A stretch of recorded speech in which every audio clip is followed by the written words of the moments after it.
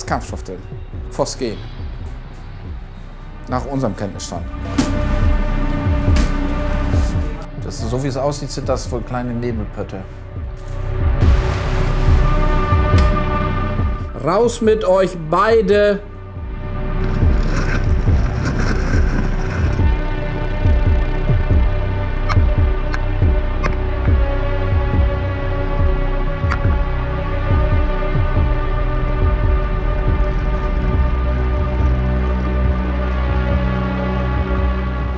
Darf ich stören? Ja. Björn Christiansen fährt Bagger unter extremen Bedingungen. Besprechung beim Chef.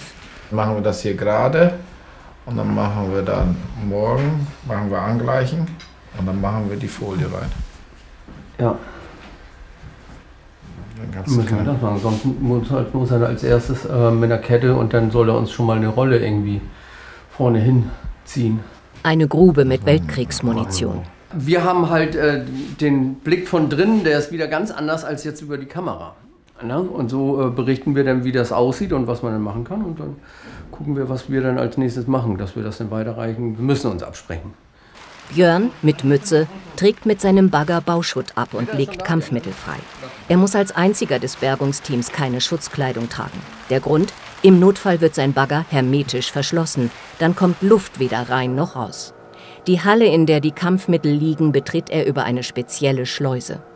Das heißt, wir kriegen keine Giftstoffe oder irgendwas hier hin, sondern das wird alles in die Halle reingezogen und dadurch brauchen wir keinen Anzug und können sauber in unseren Bagger reinsteigen. In der Schleuse herrscht Überdruck. Der erzeugt einfach gesagt einen Luftzug mit sauberer Luft Richtung Bergungshalle. Kontaminierte soll hingegen nicht aus der Halle raus. Ja, das ist dann unser System. Und dann steigen wir ein und es geht los.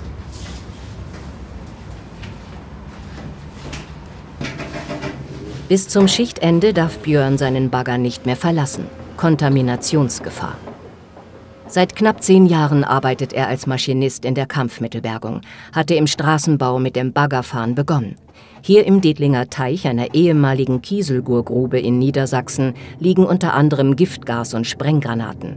Das niedersächsische Umweltministerium spricht von mehr als 100.000. Nach Testläufen beginnen 2023 die Arbeiten. Alle Altlasten sollen raus. So in dem System hatte man das noch nicht.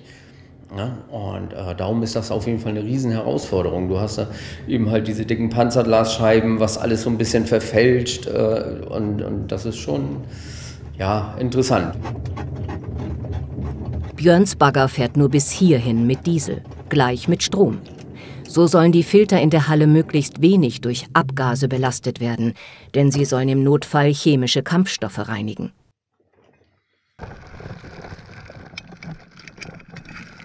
Chemische Kampfstoffe wurden entwickelt, um Menschen handlungsunfähig zu machen oder zu töten.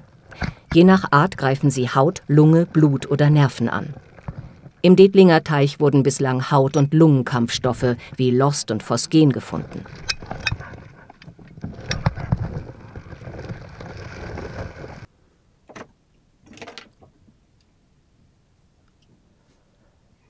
Björn möchte sicher gehen, dass das Stromkabel nicht unter seine Schaufel gerät.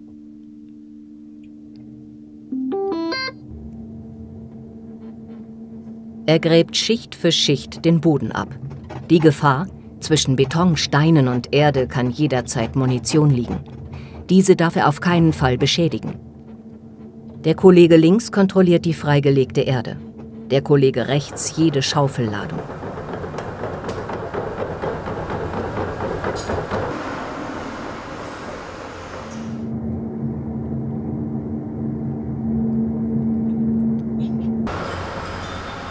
In dieser Schaufel nichts.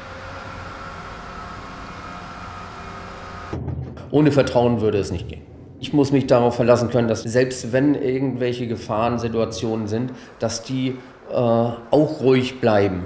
Und äh, auch wenn mir was passiert, wo ich sagen kann, ich kann mich auf die verlassen, die wissen genau, was, was sie tun und holen mich da auch raus. Nach fast drei Stunden im Bagger nur Schutt, keine Munition. Ja, das Übliche, ne? Leider nichts gefunden, aber viel Boden bewegt. Uh, normaler Gang, ne? Kann weitergehen. Halt nicht jeder Tag so, dass wir halt nur Munition finden, sondern es muss auch erstmal in die Nähe gegraben werden. Ne? Ja. Der Dedlinger Teich im Heidekreis. Zeitungen schreiben, das giftigste Loch der Welt. Vor, während und nach dem Zweiten Weltkrieg wurde Munition in dem ehemaligen Teich entsorgt. Vor rund fünf Jahren dann die Entscheidung, die Munition soll geborgen, das übrige Wasser gereinigt werden. Messungen ergaben, das Grundwasser ist mit Kampfstoffabbauprodukten verseucht, unter anderem Arsen, krebserregend. Fünf Jahre sind für die Bergung angesetzt. Geschätzte Kosten inklusive Erprobung 85 Millionen Euro. Wenn in der Halle nach Munition gesucht wird, muss Corinna die Straße sperren. Im Umkreis von 940 Metern um den Detlinger Teich gibt es eine Sicherheitszone. Laut Räumstellenleiter für Worst-Case-Szenarien, wenn zum Beispiel aus einer 250 Kilogramm Phosgenbombe der Kampfstoff entweicht. Wir haben gleich noch, äh, kommen die Kollegen von der Firma und die bauen noch Baken auf. Das ist also noch mehr, ne? aber trotzdem irgendwie, weiß ich nicht. Ob man das nicht wahrnimmt, nicht wahrnehmen möchte, keine Ahnung. Mein Gut ist ärgerlich, ich verstehe es ja auch wenn den ganzen Tag die B71 gesperrt ist, ist nun mal eine Hauptzugangsstraße hier. Ne? Aber ich sag mal so, die Leute sollten auch darüber nachdenken, dass es zu ihrer eigenen Sicherheit ist. Das hat ja einen Grund, warum die hier nicht durchfahren dürfen. Ne? Jetzt müsst ihr aber mal bitte vorsichtig sein. Wir müssen jetzt mal langsam gucken, ob wir hier zukriegen. So, jetzt telefoniere ich mit meinem Kollegen, wie es aussieht da hinten, ob er schon zu hat oder nicht. Ja, äh, hast du zu? Seite, Seite Örl ist gesperrt, alles klar. Ich mache Seite Munster zu. Okay, bis gleich. Ab jetzt ist Betreten und Befahren verboten. Damit kein Fahrzeug mehr in, im Bereich drin ist. Ne? Weil wenn da jetzt noch einer angefahren kommt, ich mache auch noch nicht ganz zu, sondern ich gucke noch, wenn jetzt noch ein Auto im Abschnitt ist und der ist zu schnell, das war's dann mit der Schranke. Erst am Nachmittag wird die Straße wieder freigegeben. So.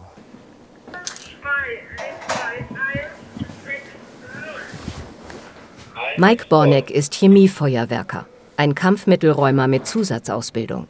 Er darf chemische Munition freilegen und bergen. Seit halb sieben ist er hier, wartet seit mehr als zwei Stunden auf seinen Einsatz.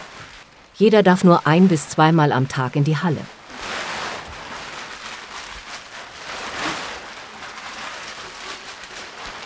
Ja, man wartet halt den ganzen Tag drauf. Ne? Also darauf arbeitet man ja hin, man, dass man auch arbeiten kann. Ne? Ansonsten ist es halt, ja, man ist halt nur da und das ist halt nicht befriedigend. Pepe Heimann ist Kampfmittelräumer, arbeitet auf Anweisung von Mike. Der ist gelernter Zimmermann, hat nach der Ausbildung umgeschwenkt, ging zur Bundeswehr. Sein Interesse für Munition war geweckt. Er fing bei einem Unternehmen für Kampfmittelbergung an. Der schützt halt äh, vor allem, was so rum, rum, rumspritzt oder irgendwas. Ähm, darum ist es halt wichtig, dass wir keine ungeschützten Hautstellen haben.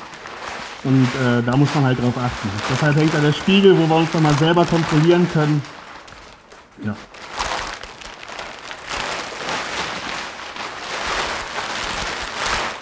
Die Schutzanzüge sind gasdicht, die Stiefel auf Kampfstoffe geprüft.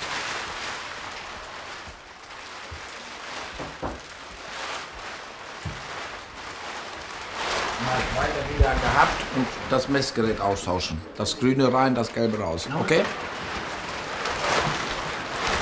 Mike und Pepe tragen jeweils vier Paar Handschuhe. Die weißen für den Komfort, die Schwarzen lassen keinen Kampfstoff durch. Die Grünen schützen die Schwarzen. Das vierte Paar folgt in der Halle.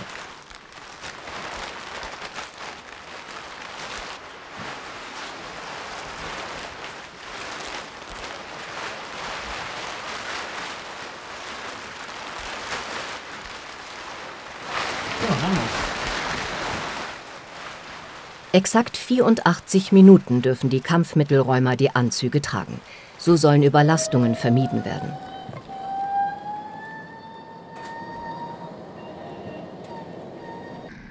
In der Halle darf sich niemand aufhalten, außer dem Bergungstrupp. Sie wurde extra für die Räumung gebaut, soll die Arbeiten bei jedem Wetter ermöglichen und wenn Kampfstoff austritt, die Verbreitung eindämmen.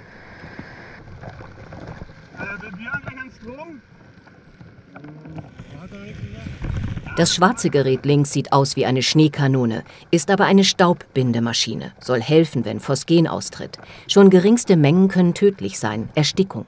Die Kampfmittelräumer arbeiten mit drei verschiedenen Messgeräten. Eins für Phosgen, zwei weitere für alle anderen Kampfstoffe.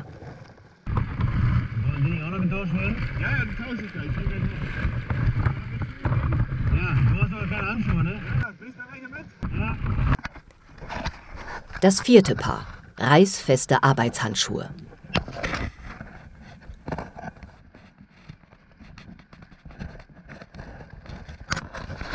Es ist ja nicht immer nur Munition im, im, Ganzen, es sind ja auch Munitionsteile oder irgendwelche Behältnisse, die gar nicht so der, als, als Munition zu erkennen sind.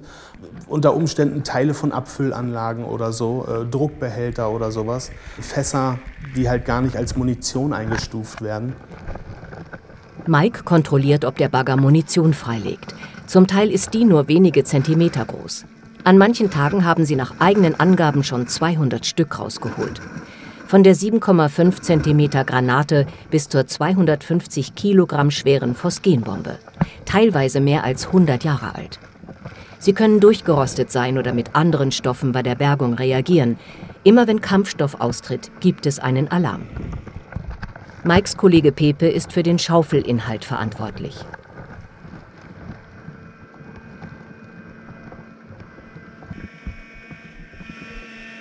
Nur Schutt. das ist ja, läuft ja mit. Jeder Arbeitsschritt wird mit acht Kameras von ihm überwacht. Räumstellenleiter Heinrich Hohrmann, von allen Heiner genannt. Jetzt sind wir hier am Abernten, so am Weggraben und da kommt kaum noch Munition ein paar Nebelpötte gefunden und so ein Kleinkram, ein bisschen äh, Munitionsreste, aber zurzeit ist keine Munition da. Aber kann sich in fünf Minuten schon wieder ändern. Ne? Heiner ist 61, hat 20 Jahre lang draußen Munition entschärft. Der Einsatz am Dedlinger Teich sein wohl letzter. Wenn sie fertig sind, möchte er in Rente gehen, egal wie lange es dauert.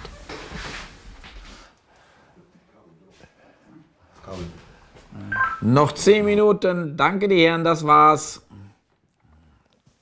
Sag Handzeichen jetzt sind raus und jetzt dürfen die Raucher endlich nach draußen. Innerhalb der letzten zehn Minuten müssen Mike und Pepe die Halle verlassen und ihre Schutzkleidung ausziehen. Nein, Munition nicht, aber wir haben viele Steine gefunden.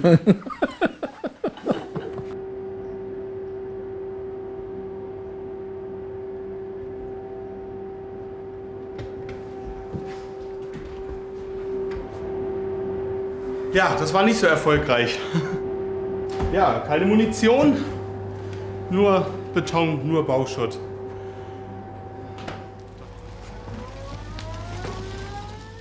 Nach jeder Bergungsschicht haben die Kampfmittelräumer Pause. Körperliche Leistungsfähigkeit und Konzentration sind entscheidend.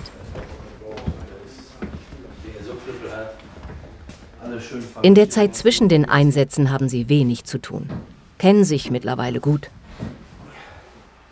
die zehn Leute oder zwölf Leute, die sich hier unten eigentlich die ganze Zeit aufhalten, die hocken ja ständig aufeinander. Das ist schon wichtig, dass man sich versteht. Doch. Doch, doch, da ist immer ein bisschen, ein bisschen Necken mit dabei, aber. Wenn wir gerade so einen Einsatz wie gerade hatten, wo wir halt nur Betonschutt und, und, und Sand und, und Erdreich rausholen, ohne Munition dann ist es halt auch mal ein bisschen entspannter bzw. ruhiger für uns natürlich. Die Maschinenführer müssen halt noch ein bisschen, manchmal ein bisschen mehr erkennen sogar, obwohl es nur im Bagger ist. Das meint man nicht, aber anstrengend ist es trotzdem. Wenn die Einsatzzeit dann mal vorbei ist, dann freut man sich dann auch ein paar Minuten mal vielleicht auch eine Kleinigkeit essen zu können, genau. 7 Uhr morgens. Am Vortag haben sie viel französische Munition gefunden. Und hier wieder ein schöner Tag am Dietlinger Teich.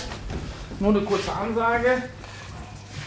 Erstens, wenn wir Munition rausholen mit dem Greifer, möchte ich, dass ihr dann Kette dran macht, dass ihr ein bisschen höher kommt. Nicht, dass ihr euch mit dem Kopf an dem Sieblöffel stoßt. und dass äh, der Baggerfeuer euch besser sieht. Okay? Kein Problem. Dann, egal wie stark ihr seid, nicht mit der Hand greifen, sondern immer Einsatz von Maschinen. Ich brauche hier keinen mit einem kaputten Kreuz. Dann nur nach vorne die Aluboxen, wenn sie voll sind.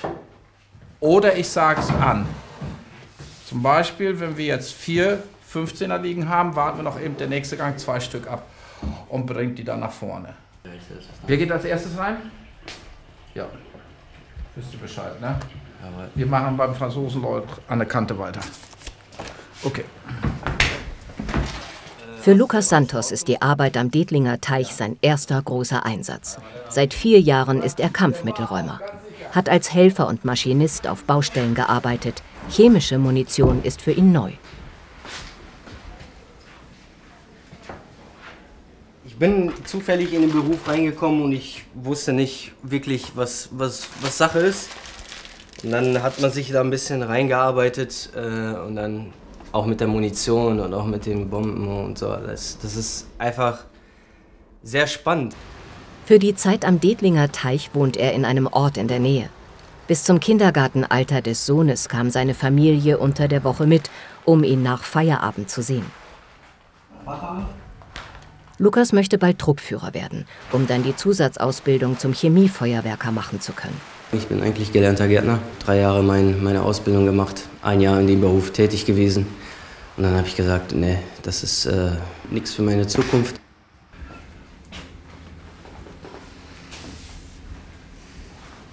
Ja, wir haben gestern 34 155er französischer Bauart weggefahren. Die haben wir gestern rausgeholt. Und heute sind wir wieder in unserem sogenannten Franzosenloch und holen wahrscheinlich noch ein paar raus. Und ich denke ein paar Dutzend.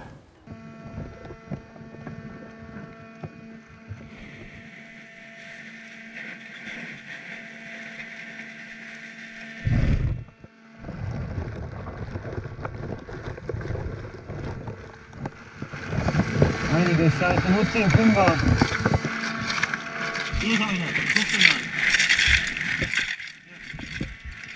Granaten mit 10,5 cm Durchmesser.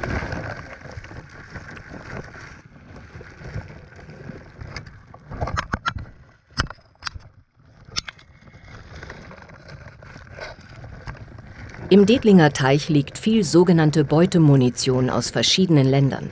Die Aktenlage ist zwar dünn, aber laut Zeitzeugenberichten wurden auch Abfälle und Fehlchargen aus der Herstellung von Kampfstoffmunition im Teich entsorgt, undichte Bomben zur Löschung ins Wasser geschmissen. Ich höre.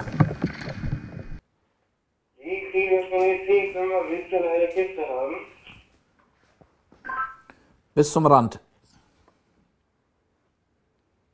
Das Gefährlichste in unserem Job ist wie in jedem Job die Routine. Ne? Und wir müssen die Spannung hochhalten. Das ist das Problem. Und wenn du eine nach der anderen rausholst und die vor allem, wie sie jetzt sind, in einem wirklich noch sehr guten Zustand, ist das schwierig, die Spannung hochzuhalten. Ne? Wir dürfen, ich muss aufpassen, dass sie nicht zu Larifari werden. Jetzt mal so salopp gesagt. Lukas und seine Kollegen hören auf den Chef und nehmen den Greifer. Die französische Granate wiegt mehr als andere, enthält wahrscheinlich Phosgen.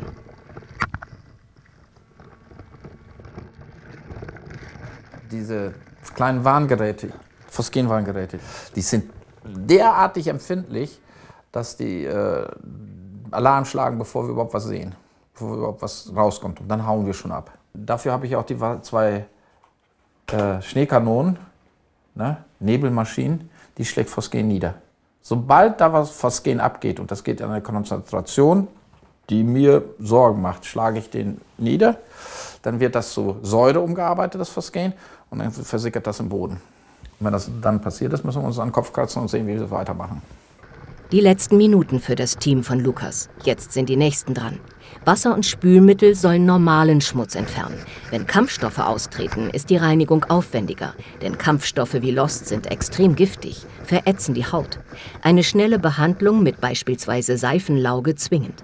Bis auf Maske, schwarze Handschuhe, Stiefel und Unterwäsche wird alles vernichtet. Mission gelungen. Wir haben ein paar Granaten rausgeholt. Ja, das war sehr, sehr entspannt. Und auch sehr schnell. Also wenn man was zu tun hat, dann geht es sehr schnell da drin.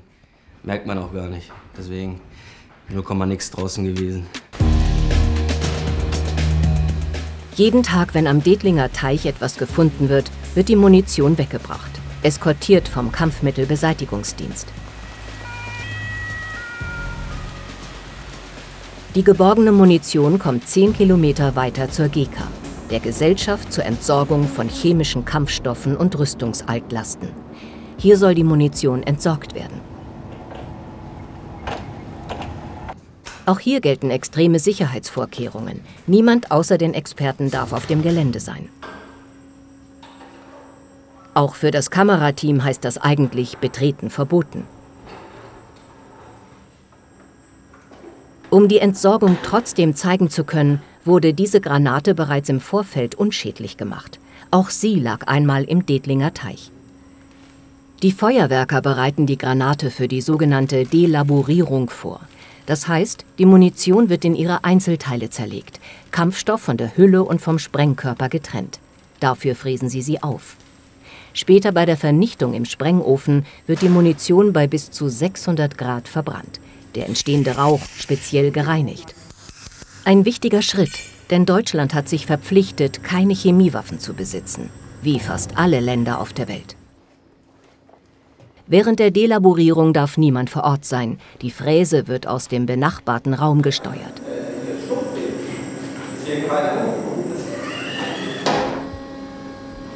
Philipp, ich fange jetzt an zu fräsen. Jawohl.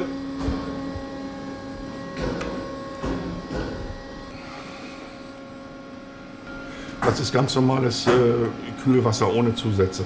Weil sonst, äh, man sieht es hier auch auf dem, auf dem, auf dem Röntgenbild, äh, wenn ich jetzt hier reinfriese, äh, erhitzt sich die Hülle und äh, wir wollen nicht, dass der, dass der Sprengstoff hier in der, in der, im Zündersack äh, zur Explosion kommt. Das Ziel? Kampfstoff und Munitionshülle sollen kontrolliert getrennt werden. Jetzt krackelt der Kopf, das fällt vielleicht ab.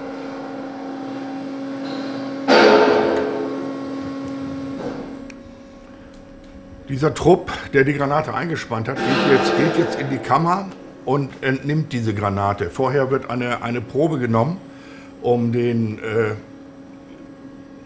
um den Inhalt erstmal grob zu bestimmen. Und dann wird, das, wird die Granate verpackt und äh, der Entsorgung zugeführt. In separaten Behältern werden die einzelnen Komponenten jetzt vernichtet. Auch der Bauschutt aus dem Detlinger Teich wird bei der GK gereinigt oder entsorgt. Ein anderer Tag am Detlinger Teich.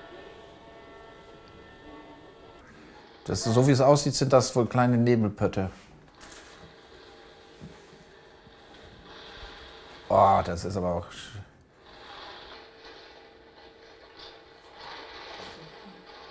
Ähm, Christian, das wissen, das ist nicht so viel. Lukas, wiederholen mal bitte. Christian geht nicht wie. Bitte nicht. Ja, dann raus mit euch, beide. Soll ich einen Rettungstrupp schicken?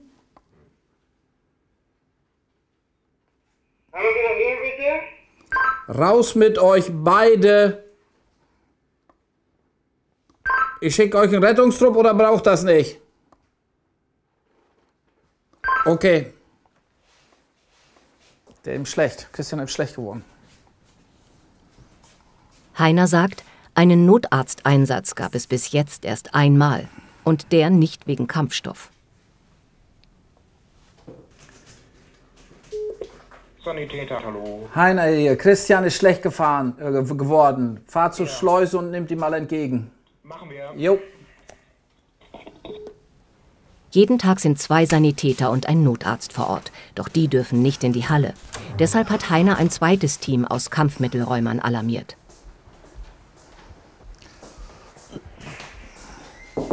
Ein meiner Leute ist schlecht geworden unten im Dings. Wir haben aber keine Anzeige von Kampfstoff, sonst was. Ich habe die Sanis hingeschickt. Die holen den bei der Schleuse ab. Der Rettungstrupp, Kampfmittelräumer, müssen im Notfall in kompletter Schutzausrüstung in die Halle. Den Kollegen rausholen, Schutzkleidung entfernen und ihn dekontaminieren. Die Sanis kommen gleich, dann könnt ihr wieder weggehen. Dem Christian geht's noch gut, der geht noch selbstständig raus. Die brauchen nicht bergen, der ist nicht kontaminiert, nix. Ihm ist schlecht geworden, wir haben aber keine Anzeichen von Kampfstoff und so weiter. Vielleicht ist die Belastung zu hoch gewesen. Aber die sollen eben durchchecken. Und wenn der Doktor sagt, ab zum, zum Krankenhaus, geht er dahin. Immer unser Satz, morgens wie abends und während der Gänge. Geht es einem nicht gut, nur ein bisschen schlecht und so weiter, raus. Besser, du kannst doch selber rausgehen, als wenn ich da einen rausschleppen lassen muss. Ja.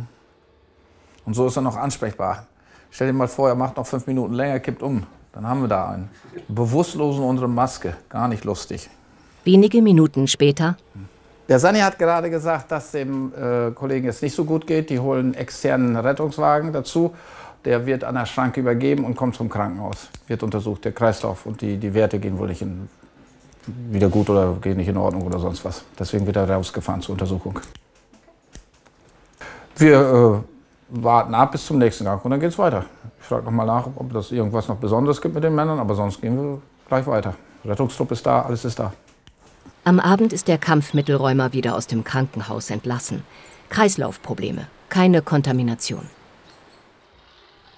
Ein anderer Tag. Eine Besonderheit an der Räumstelle des Detlinger Teichs, die Munition wird noch vor Ort geröntgt. Ja, also geht's jetzt laufend so weiter. Röntgen, Foto, volles Programm. Gut. In der Röntgenhalle arbeiten zwei Feuerwerker. Für Heiner die anstrengendsten Stunden am Tag, denn jetzt muss er Röntgen und Bergung gleichzeitig überwachen. Durch das Röntgen sieht Heiner, ob die gefundene Munition Kampfstoff enthält oder nicht. Das Ergebnis der ersten Granate? Das ist der Flüssigkeitsstand. Da siehst du das dran. Das ist das Oberteil, was wir gut gefüllt haben. Hier ist die Schraube, die Füllerschraube. Und da ist der Flüssigkeitsstand. Und dann andere Seite ist die voll. Und deswegen ist das schwarz. Und daran erkennen wir, dass es voll ist, flüssig. Das ist eine 21 cm äh, Kampfstoffgranate italienischer Bauart. Die sieht deswegen so kurz aus, weil die Haube fehlt. Die Haube hier, darunter, die wird aufgeschraubt. Darunter ist die äh, Zerlegeladung und da ist die Zünderbuchse. Das hier seht ihr da, das ist die Fülllochschraube. Und was wir hier gefunden haben oder finden, das ist der Wirkkörper. Und daran seht ihr den Flüssigkeitsstand. Da ist Kampfstoff drin. Phosgen. Nach unserem Kenntnisstand. Mehr als 23.000 Munitionsartikel in einem Jahr. Es läuft hier wirklich gut. Die Röntgenanlage funktioniert, die Männer laufen gut, die Technik läuft mit kleinen Einstrichen gut und so weiter. Wenn sich das noch ein bisschen besser einspielt, das alles mit dem ganzen Kram, dann wird, sind wir weiter als manche denken. Glaubt mir das. Oder es kommt Überraschungen. Die können wir nie ausschließen. Irgendwelche Munition, die uns ärgern oder eine Menge, die wir nicht einschätzen konnten. Aber sonst bin ich überzeugt, dass wir weiterkommen, als mancher das von außen erwartet. Schätzungsweise rund 10 Meter Tiefe liegen noch vor ihnen.